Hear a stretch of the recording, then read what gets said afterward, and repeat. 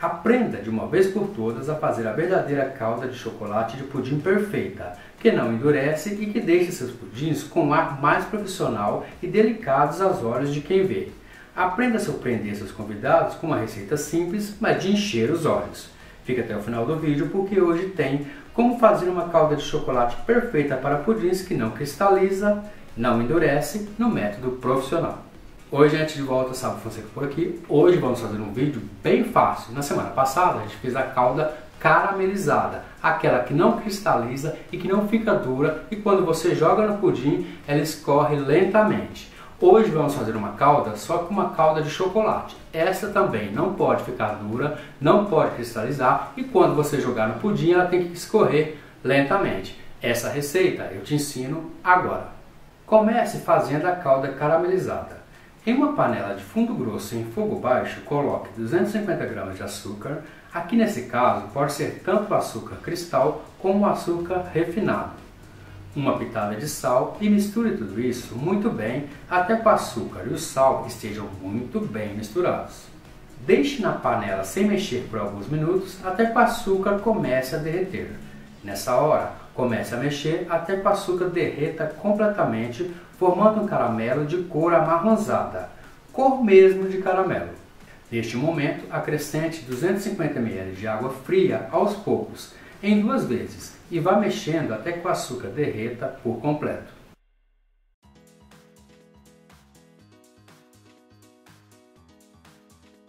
Deixe ferver sem mexer até que, ao voltar a mexer novamente com a colher de pau, o açúcar esteja completamente derretido sem oferecer qualquer resistência no fundo da panela. Coloque a mesma quantidade de açúcar e água para fazer a calda. A calda vai estar pronta quando derreter totalmente o açúcar e estiver com ponto de calda mole. Acompanhe.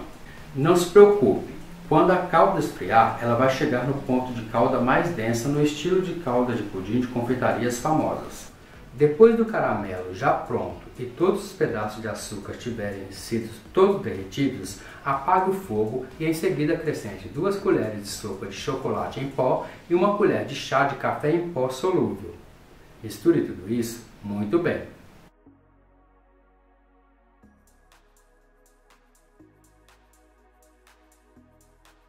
Misture tudo isso com o auxílio de um batedor de arame fouet e continue misturando até que dissolva completamente o chocolate em pó e o café em pó solúvel. Quando a calda estiver esfriada completamente, passe a calda por uma peneira para retirar possíveis gruminhos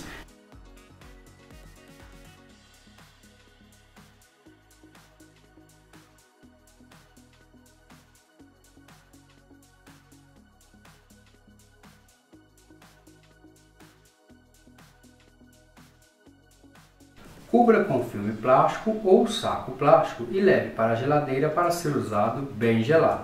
Se caso depois de gelada a sua calda ficar um pouco mais espessa ou grossa demais para o seu gosto, pode ser diluída com um pouco de água fria, gota a gota, até atingir a calda densa de sua preferência.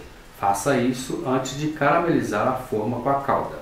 Lembre-se que esta calda adere bem às laterais e fundo da forma. Esta calda não endurece com o tempo, mantendo sempre a densidade de um caramelo. Ao esfriar na geladeira, ela sofre uma reação ficando um pouco mais grossa, idêntica aos caramelos feitos para pudins no método profissional. Nesse caso, eu não gosto muito da calda rala, gosto de calda bem densa e que demore a escorrer. Comece caramelizando a forma pelo centro. Esta parte é mais difícil de caramelizar, pois a calda vai escorrer para a parte inferior da forma rapidamente. O restante da calda que sobrar, vá fazendo movimentos circulares para que a calda faça adesão em toda a lateral da forma. Acompanhe.